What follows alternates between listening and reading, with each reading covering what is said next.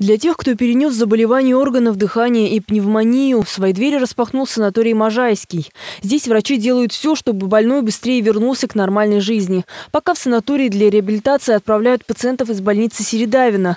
Помимо медикаментозного лечения, специалисты проводят пациентам щелочные гингаляции, занимаются с ними лечебной физкультурой и дыхательной гимнастикой. Курс восстановления длится 14 дней. Больные заняты у нас круглосуточно а, в том числе э, процедурами, которыми они э, проводятся методистами ЛФК, э, психологами и врачами отделения. Санаторий был укомплектован заранее всем необходимым оборудованием, которое потребуется для реабилитации пациентов.